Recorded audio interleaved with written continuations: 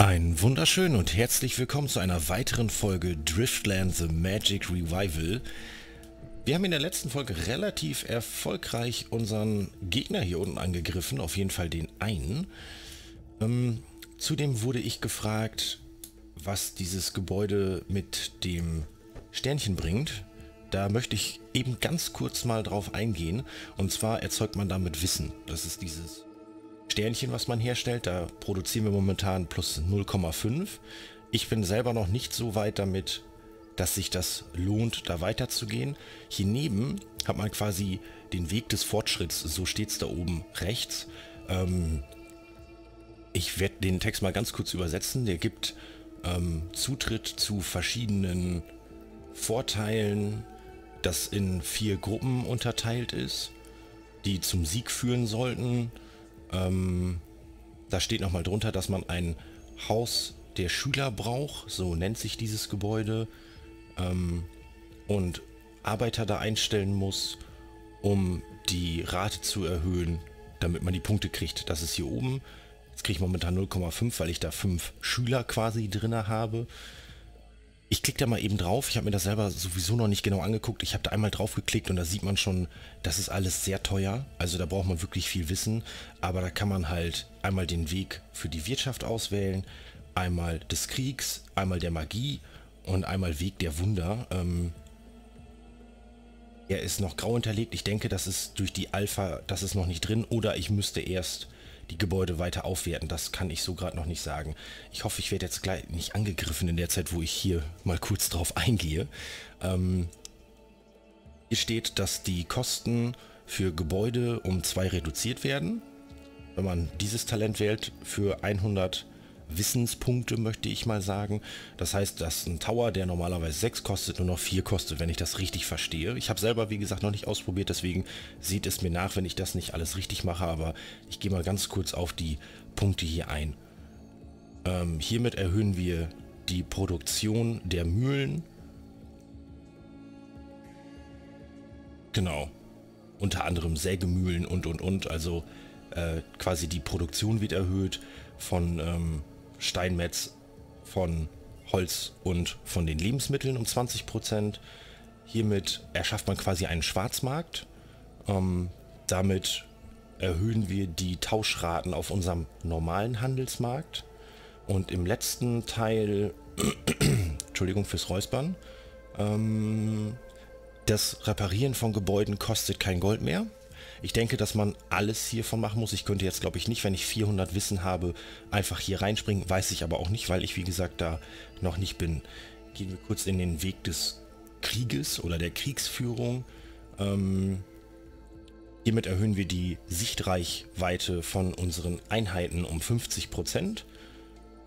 Äh, hier steht, dass die Einheiten, die in den Nestern spawnen, das heißt Drachen oder die Vögel, ähm, doppelt so schnell spawnen oder doppelt so viele. Das äh, Nest will spawn twice as much units. Ja, also doppelt so viele Einheiten. Das ist schon mal gar nicht so schlecht. Kostet aber halt auch sehr viel. Okay, jetzt werden wir angegriffen. Da muss ich mich mal eben ganz kurz drum kümmern. Danach gehen wir wieder zurück. Da wird bestimmt die eine oder andere Einheit von uns drunter leiden.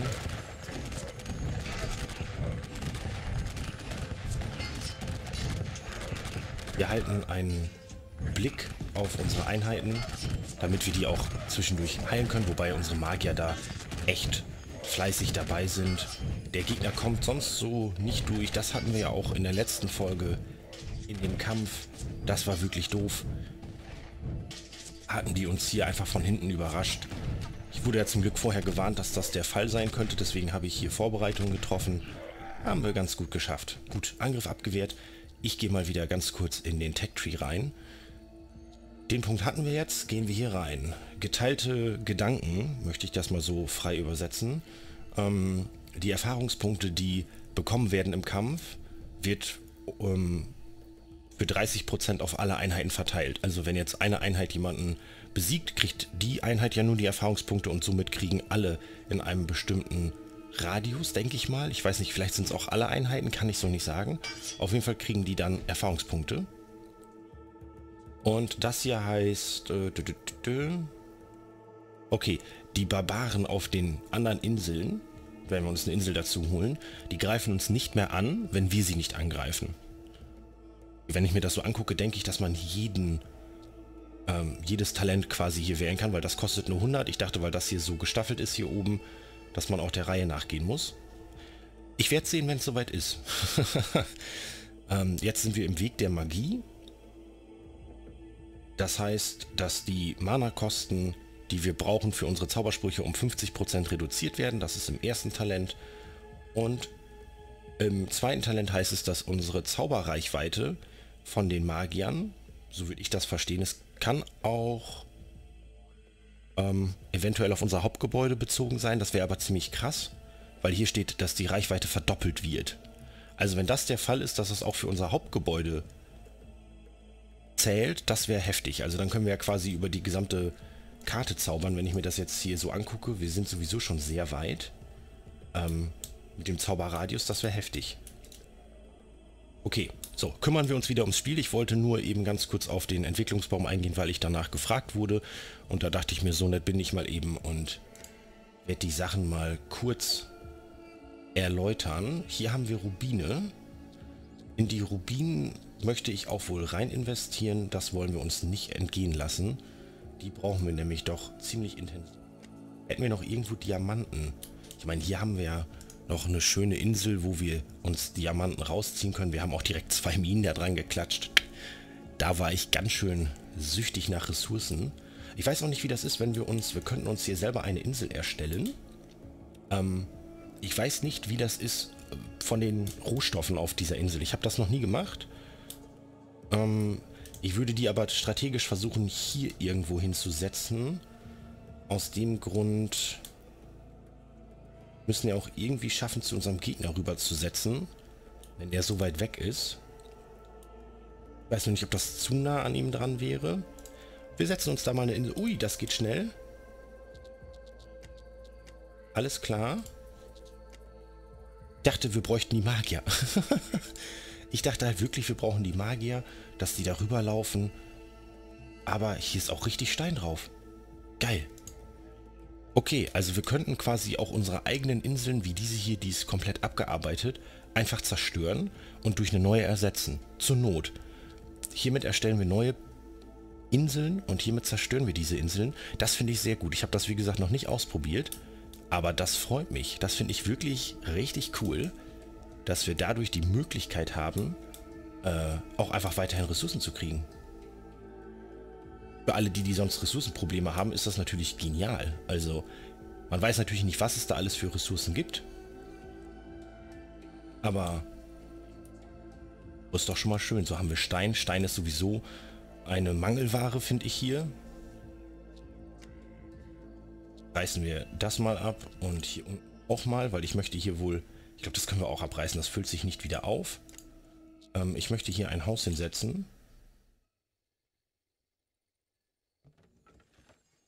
Mindestens eins. Ich habe ein bisschen was mit der Stimme, glaube ich. Äh, deswegen entschuldige ich mich dafür wirklich, wenn ich mich das ein oder andere Mal öfter räuspern muss. Hier unten setzen wir uns direkt mal Türme hin.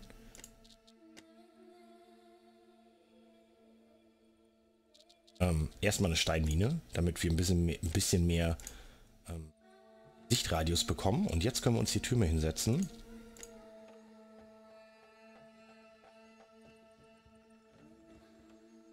Drei. So, jetzt ist natürlich Steinmangel, aber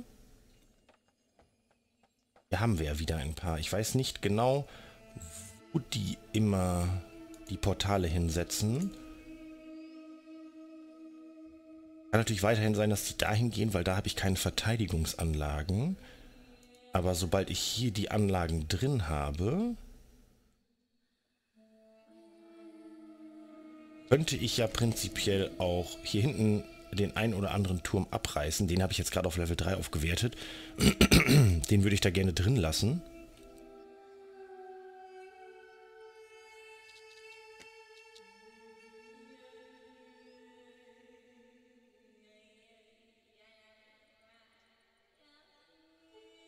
müssen natürlich ein bisschen unsere Lebensmittelproduktion erhöhen. So, in dieser Folge geht es jetzt erstmal darum, würde ich so pauschal sagen, dass wir hier unsere Ressourcen wieder gut hinkriegen, weil wir ja auch Stück für Stück expandieren wollen. Der Rest sieht super aus, aber die Steinbeschaffung, die muss noch kommen. Da muss noch mehr kommen. Ich weiß auch nicht, was das bringt, wenn ich vielleicht noch einen Marktplatz mehr baue. Jetzt einfach mal tun. Hier steht ja drauf... Ach, das ist nur der Mining-Bonus. Ähm, das war doof. Hätte ich vielleicht vorher durchlesen sollen. Ich bin jetzt davon ausgegangen, dass das auch an sich das Goldeinkommen steigert. Weil eine Goldmine könnten wir natürlich die eine oder andere noch setzen. Da haben wir ja Glück.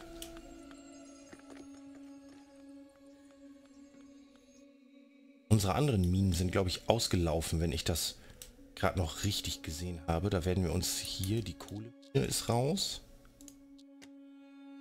Und das sieht man ja immer, weil der Energiebalken darüber verschwindet. Ähm, machen wir so.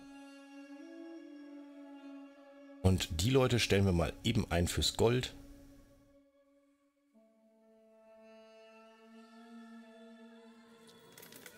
Und natürlich nach und nach den Marktplatz aufwerten. Aber das finde ich gut. Das äh, wusste ich wirklich nicht, dass das auf äh, das selber bauen von Inseln uns so viel beschert. Also an Rohstoffen auch. Hier ist auch Gold wieder drauf. Das finde ich gut. Dann würde ich vielleicht sogar wirklich überlegen, die ein oder andere abgearbeitete Insel zu zerstören.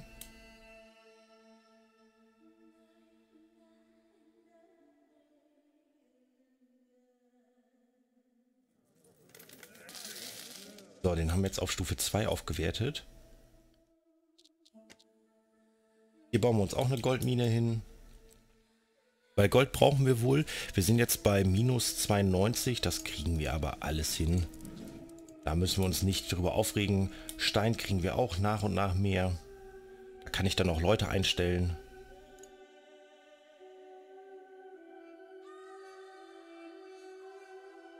So Stück für Stück auf jeden Fall. Sonst muss ich mal wirklich das ein oder andere Haus mehr bauen. Ähm, ja, dass wir hier die Insel immer noch sehen. Ich weiß nicht, ich weiß nicht warum. Das unser Nest jetzt, weil wir... Also dann würde ich da ja nochmal rüber gehen. Vielleicht eine Insel zerstören und mir die anderen einfach rüberziehen. Leicht.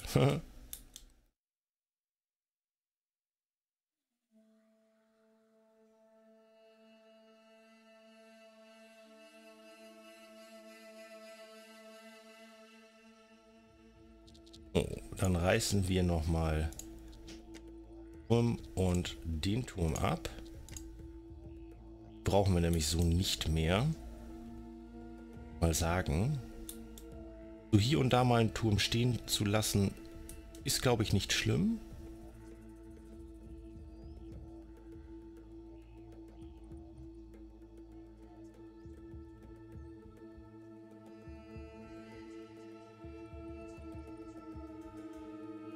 Ich glaube, ich brauche noch ein Haus, damit wir uns langsam erholen können.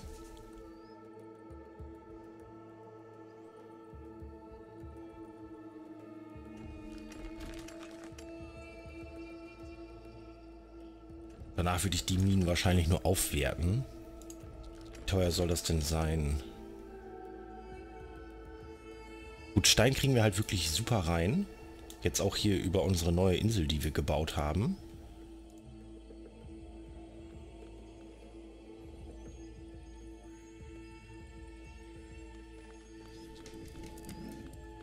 Und mehr Bürger. Mehr Bürger machen uns aufs Schlimmste gefasst. Also die Gegner hatten so viele Truppen, ähm, da habe ich schon ein bisschen Bauchweh gekriegt, muss ich ehrlich gestehen. Wir haben jetzt hier zum Beispiel auch noch keine Einheiten. Ach, das ist immer so im ersten Moment so laut.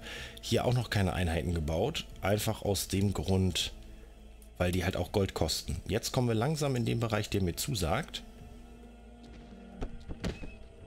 Ah, das werten wir gleich auf.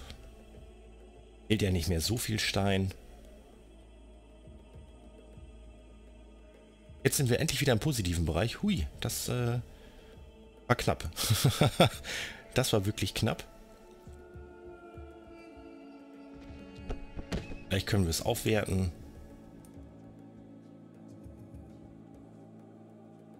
Haben wir auch schneller Steine. Er hier hat nichts mit zu tun. Dann können wir den abreißen.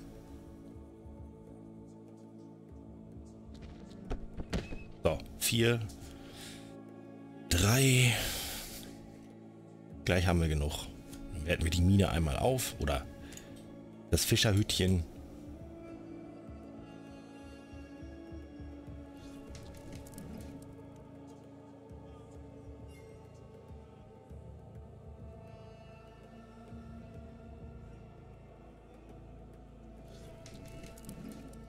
Jetzt geht es wieder so ein bisschen ums Hin- und Hergeschiebe von den Einheiten. Aber das möchte ich immer erst zum Laufen haben. Oder am Laufen haben. Das finde ich auch gut, dass die nicht ähm, quasi an Produktivität verlieren, sondern dass das so aktiv bleibt. Super, das ist fertig. Jetzt kriegen wir natürlich Bürger, Gold und äh, Lebensmittelnot, das ist ja ganz normal. Eine Einheit reingesetzt, 19 Gold, wir sind überall im positiven Bereich. Kohle jetzt nicht, aber Kohle haben wir soweit auch erstmal vorrätig. Sperren mal hier unten ein bisschen aus. Der Gegner hat hier aufgegeben, wie es scheint.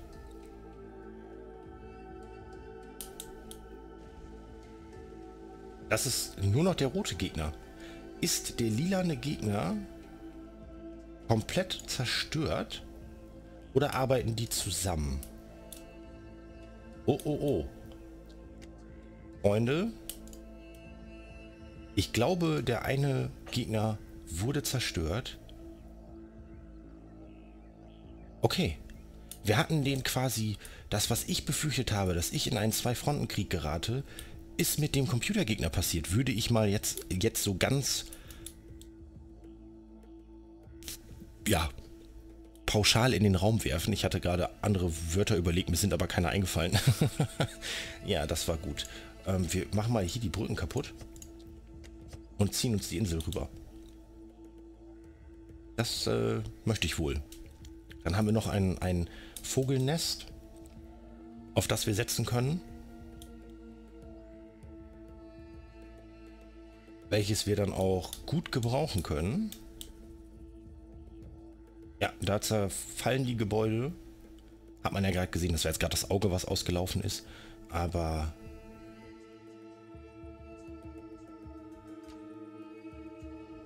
Will ich haben.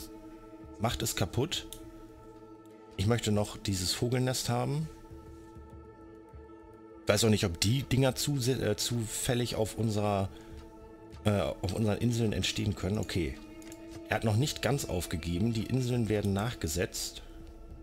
Oder nicht die Inseln, sondern die Brücken.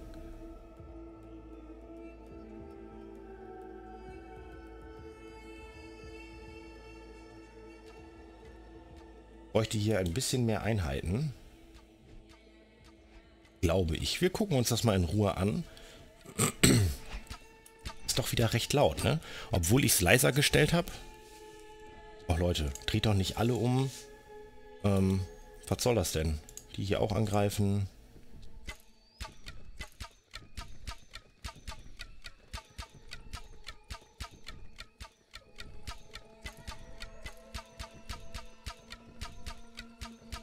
Könnte natürlich diese Insel einfach zerstören. Umache. Dann fliegt da ein Magier hin und der macht jetzt gleich Rabots mit der Insel. Ähm, Ressourcen sind hier sowieso nicht mehr so wirklich drauf. Ähm, die Sachen, das ist mir halt auch zu anstrengend, muss ich ganz ehrlich gestehen. Andauernd dieses ganze Hin- und Hergebaue. Ich mache jetzt die Insel und die Insel kaputt und dann hat sich's ausgespielt mit den Brücken und dann ziehe ich mir die Insel rüber. Da kommt die Magie in der blauen Art und Weise wird eine Insel umgeformt und mit der roten Macht wird sie wahrscheinlich dann einfach gleich zerpuffen.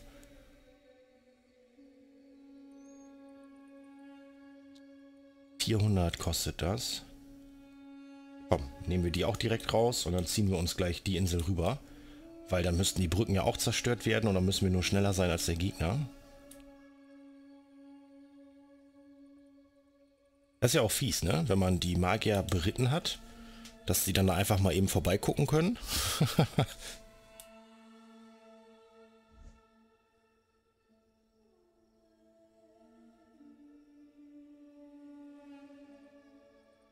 Das sieht schon cool aus.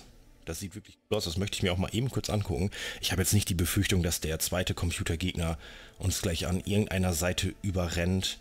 Da mache ich mir keine Gedanken. Das soll jetzt nicht abgehoben klingen, aber wir haben so viele Einheiten in der Luft und die sind auch vom Levelbereich schon ziemlich stark geworden, weil auch wenig gestorben sind. Ähm, ich glaube, den nächsten Angriff können wir auch gut überleben. Dann bauen wir uns gleich einfach mal mit Inseln zu dem Freundchen rüber. Mal gucken. Das dauert auch ganz schön lange. Also ich meine, ich finde es nicht schlimm. Könnte er ja auch bei mir machen. Äh, da muss man auch noch die Zeit haben, darauf reagieren zu können. Ich glaube, dass die Insel wird zerstört, wenn die beiden oder wenn der Kreis sich schließt. Hoffentlich ist es nicht gleich zu laut, weil ich auch so nah rangezoomt bin.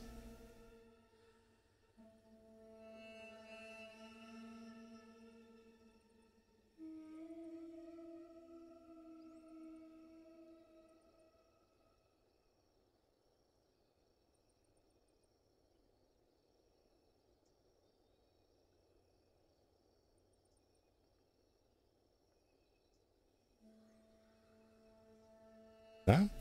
Wahrscheinlich wird die kleine Insel da hinten zuerst kaputt gehen. Bei den großen dauert das wahrscheinlich länger. Oh, da schließt sich der Kreis.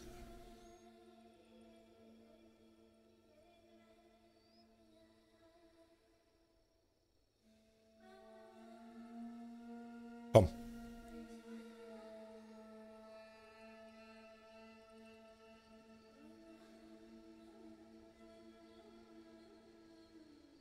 Da bin ich wirklich gespannt, wie das aussieht. Also das Herstellen einer Insel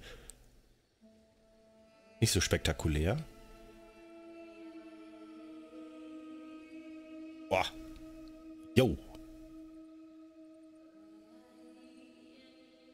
Das sah cool aus. Also das sah richtig cool aus.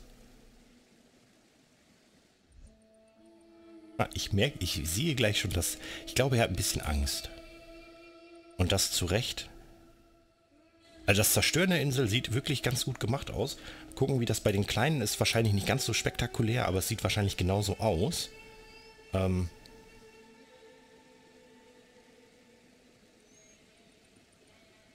Sonst natürlich auch jetzt gerade sehr ruhig, weil ich meine, ist auch ein gemütliches Strategiespiel. Wenn so ein Kampf mal vonstatten geht, muss man halt genug von allem haben. Das schaffen wir.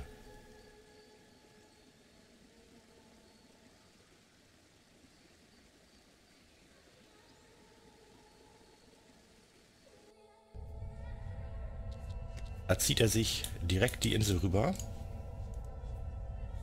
Nicht mit mir. Mir wieder zurück. Er kann sie sich natürlich jetzt wiederziehen. Das sah gut aus. Das sah wirklich gut aus. Hat mir optisch auf jeden Fall zugesagt. Ähm da möchte ich die Insel haben. Werden wir jetzt auch gleich mit Brücken verbinden. Damit er sie uns nicht wegnimmt. So und so. Jetzt ist es ja quasi gleich unsere Insel. Wie gesagt, Ressourcen sind da auch nicht wirklich drauf. Da ist aber Mana drauf, ziemlich viel sogar. Da können wir mal ganz kurz gucken, wie das hier bei den anderen Inseln aussieht. Ich gehe jetzt wieder in diese Vogelperspektive. Ich glaube, da ist wirklich ziemlich viel Mana. Auch 701. 721 ist bis jetzt top, also...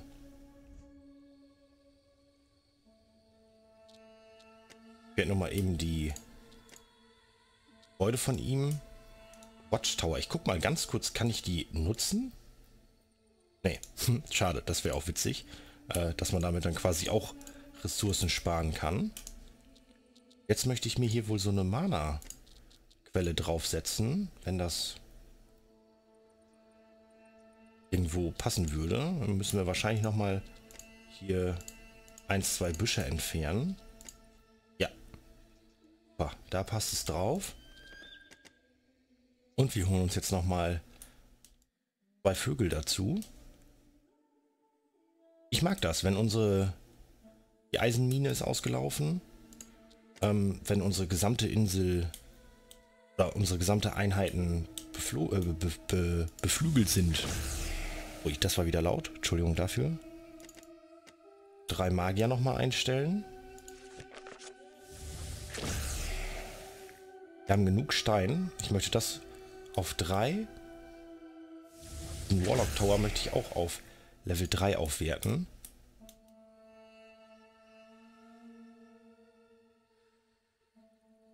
Wir brauchen nämlich doch ein bisschen mehr Magier. Das finde ich ganz cool.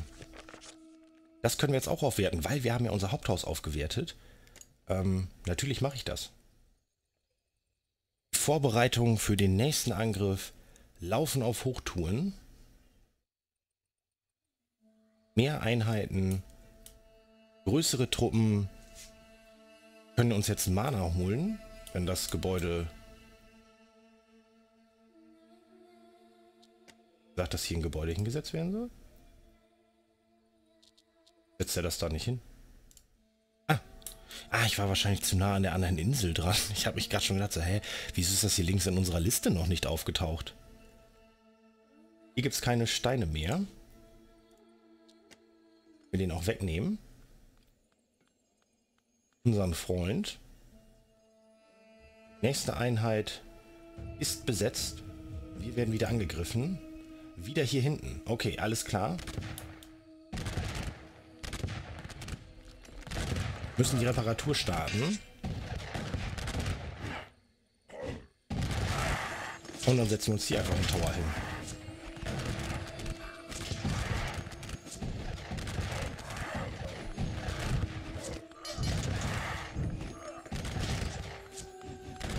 Unsere Einheiten sind so gut strukturiert, mit Magiern, die heilen können, mit den ganzen Auren, die wir haben. Da bin ich positiver Dinge. Dann soll der Freund hier ruhig öfter mal rüberkommen. Das gibt Erfahrungspunkte.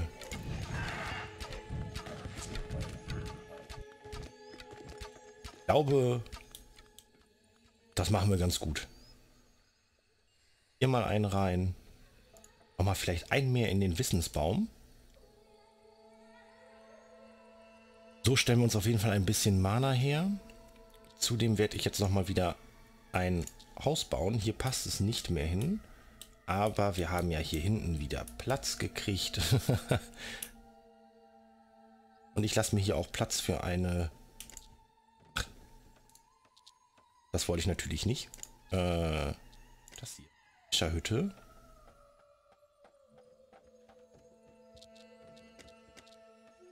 gut, wir können uns hier nochmal ein Haus hinsetzen. Das finde ich gut. Dieser Mana-Brunnen sieht auch schön aus. Ein nerviges Geräusch, aber ist schön. Weil, wenn ich nämlich dieses Gebäude aufwerte, ich habe noch sechs Plätze frei. Also jetzt, weil das Gebäude auch fertig ist. Ähm, vorher waren es halt noch einer und das wäre halt zu knapp geworden. Da hätten wir die Lebensmittel, Defizit von den Lebensmitteln zum Gold hätten wir nicht stemmen können. Jetzt können wir es, auf jeden Fall. Wir können uns hier nochmal... Äh, ja, okay, die erhöhen die Produktion von allen Fischereien. Also ist das, glaube ich, egal, wo ich die hinsetze.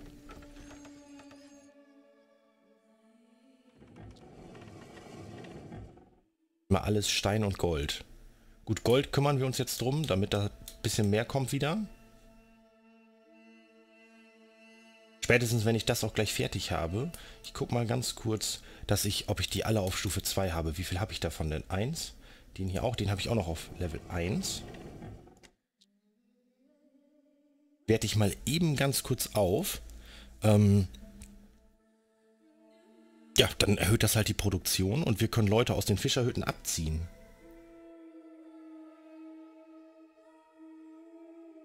Ja, wenn ich jetzt hier, sieht man ja oben, mal so ein bisschen, bisschen im Positiven, jetzt ist, siehst du, oder seht ihr, Entschuldigung, ähm, ist halt fertig. Und ich kann hier richtig Leute abziehen und wir kriegen ordentlich Kohle dazu.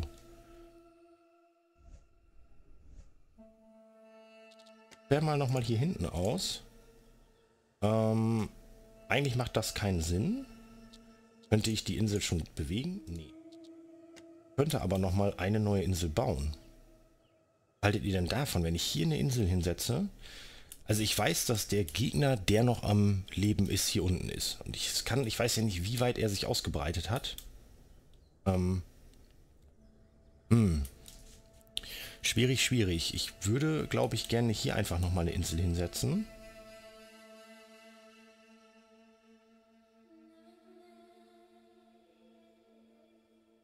Ja, das machen wir auch.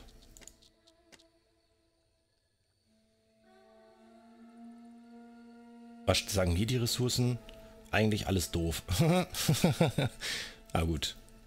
Man kann auch nicht immer alles haben. Hier sollen mal zwei Leute vielleicht direkt mal suchen. Ähm, sobald die Brücke fertig ist, damit das einfach ein bisschen schneller geht. Fände ich ganz cool. Hier hatten wir jetzt Stein noch ein bisschen. Diamanten. Jo, hier sind richtig viele Diamanten. 240. Da bauen wir uns auch direkt mal direkt mal was drauf. Okay, jetzt kriegt er eine 20. Ich weiß nicht, ob er dann schneller arbeitet. Das wäre vielleicht mal ganz schön. Weil die wirklich, also das Arbeiten von der Geschwindigkeit her haben die äh, Erkunder oder die Kundschafter, das, das, das, da haben die nicht erfunden. Können wir hier eigentlich noch was aufwerten? Oh ja. Noch höher geht aber nicht. Okay. Schade.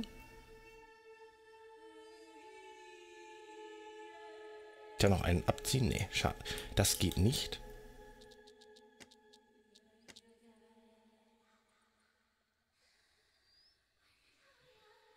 Wir brauchen halt wirklich Stein. Also Stein ist so eine Ressource, da braucht man verdammt viel von. Und da ist ziemlich wenig vorhanden. Ich meine, das geht.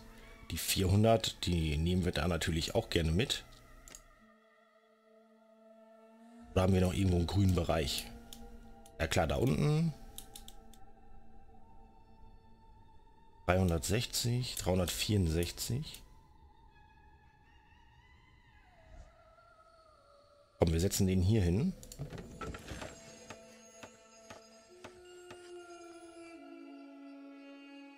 Den Steinmetz. Nochmal einen für die Nahrung rein. Und dann werden wir gleich mal unsere ähm, ja, Fischhütten wenn wir gleich mal eben so Stück für Stück aufwerten. Wie kostet das denn? Oh, oh das kostet auch ziemlich viel Stein. Ich glaube, Stein ist die Ressource, gerade wenn man sich relativ sicher fühlen möchte mit Türmen und alles auch mal, ich, wie gesagt, ich wollte das Spiel ja auch mit euch zusammen kennenlernen. Ich kenne das ja so noch nicht. Wenn man davon nochmal eine zweite Runde spielt, kann man den Gegner auch ein bisschen schwerer stellen und dann vielleicht auch ein bisschen schneller spielen. Aber bis dahin werden wir uns erstmal hiermit begnügen, um zu gucken, wie so alles Hand in Hand greift. Wir haben hier noch... Ups, nein. Äh,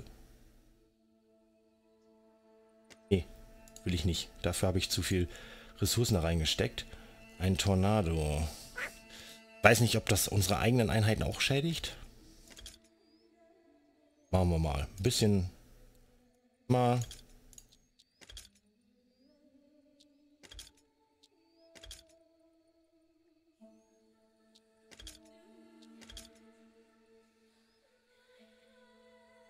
Ja, die sollen alle schön die Zaubersprüche lernen, weil die lernt man ja über diese verschiedenen Stationen.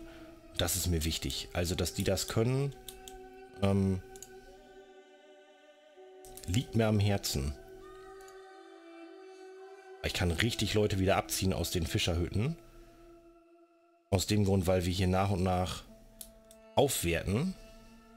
Erstmal nur alles auf Stufe 2. Oh, Stufe 1.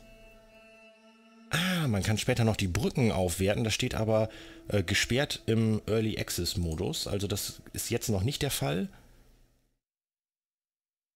Das mit dem Wissen ist aber auch fies, ne? Also man das nicht irgendwie anders erhöhen kann, oder?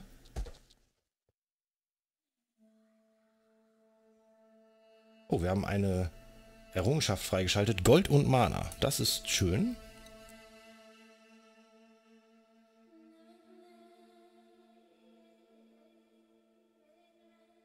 Ja, sonst läuft hier alles wirklich hervorragend. Wir erkunden diese Insel. Auch Gold und Mana. Wie viel... Okay. Ich frage mich, warum das... Also das heißt ja nur, dass es da gefunden wurde, aber Gold würde sich ja auch lohnen. Hm, Finde ich sehr gut. Gold ist immer was Feines. Da haben wir jetzt viele Inseln, die wirklich von unserem Gold leben können. Diamanten habe ich gar keinen eingestellt. Schande über mein Haupt.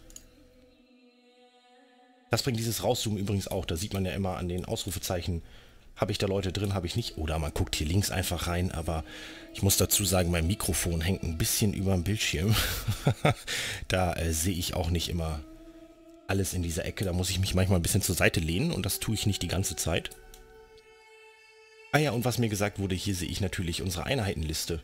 Danke für den hervorragenden Tipp. Achso, ich habe mich gerade gewundert, ob der hier unten irgendwie gerade einen Anfall hat in dieser Kugel. Aber das sind die Einheiten. Als ich hier ich habe gerade gedacht, mein Spiel stürzt ab oder so. Ähm, aber hier sieht man das. Ich, ähm... Eins. Attack Speed 1. Was ist hier? 6. Ah, okay. Also ist das hier hinten der Levelbereich, der angezeigt wird. Da steht dann quasi drin, was sie gerade machen. Der Name ist ja erstmal, die kann ich sowieso alle nicht aussprechen.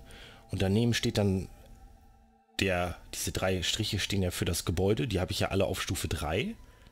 Ja gut, außer die Kundschafter, ne? Aber sonst kann man hier auch halt immer sehen, ne? Level 5, hier ist Level 1, das können auch Einheiten sein, die ich jetzt gerade neu habe. Level 6, Level 2. Ich möchte das gerne äh, äh, entwickeln, dass meine Einheiten die Erfahrungspunkte teilen. So, okay, alles klar. Ich war gerade ein bisschen überfordert. Das wäre ja quasi der Baum, aber 700. Also 700, da muss man ja schon, ähm, um das mal realistisch zu sagen, ich spiele auf einer kleinen Map. Also Small ist ausgewählt nicht mal normale Größe. Da müsste man ja schon wirklich auf einer Riesenmap spielen. Ähm, um da wirklich so schnell diese Wissenspunkte zu bekommen. Also natürlich, ich habe da jetzt kein Augenmerk drauf gelegt. Ich hätte natürlich auch ein bisschen mehr entwickeln können, aber das wollte ich ja einfach nicht. Ich möchte ja unsere, unseren Fischer-Boost möchte ich ja erhöhen damit wir Leute aus den Produktionsstätten abziehen können und unser Gold zu steigern. Ich glaube, ressourcentechnisch geht es unseren Gegner relativ schlecht. Also der kommt ziemlich unregelmäßig und selten. Wir konnten uns Inseln klauen, Inseln herstellen, Inseln zerstören. Also, ich habe das Gefühl, das läuft wirklich richtig gut bei uns. Alles im positiven Bereich, alles gut. Der Kampf wird gleich stattfinden. Oder ich würde fast eher sagen, in der nächsten Folge wird der Kampf stattfinden. Ähm, dass wir uns das da dann auch vielleicht nochmal genauer angucken. Wir haben jetzt diese Folge wieder ein bisschen mit Nacharbeiten uns beschäftigt.